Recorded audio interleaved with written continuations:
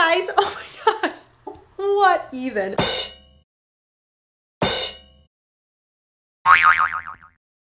Hey guys, Do It On a Dime family here. So today I'm gonna take you along with me for some parts of the day and show you how we're gonna take this $1 pool noodle and have as much fun as possible today. Thank you guys so much for putting suggestions on my Facebook page and sending me messages and leaving me comments.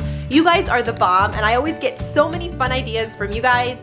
Let's go have some fun. Do you guys wanna see Carson's Easter outfit possibilities?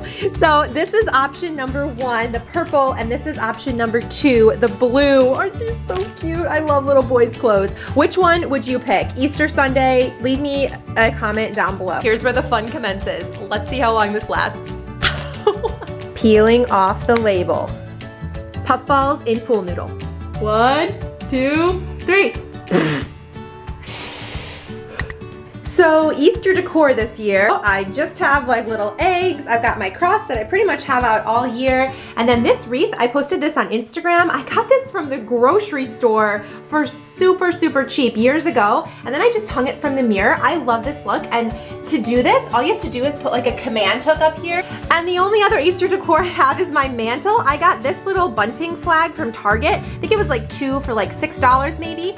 And these little guys came from the Dollar Tree. Aren't they so cute? I got them a few years ago and that's really all the Easter decor that I did. Whoa! Let's see if we can make that into a ramp. What do you think? Wow. Cool. We need to find something round that can go down here. Round things go down. What is this one? To make You're right. Pool noodle cakes.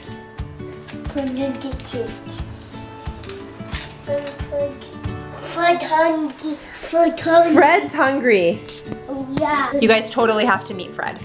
Oh my goodness.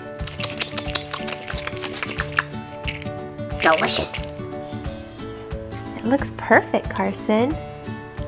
Very nice. Should we add more rhinestones? So right now we're outside just to avoid mess, but we're gonna make these into stampers. What do you think? Nice. Look great. Looks great. P.S. Look at this tree in our yard right now. Are you even kidding me? This is so ridiculously beautiful. That pool noodle was awesome. Carson is finally down for his nap after a little bit of sandbox time outside. But I wanna show you guys what I just ordered.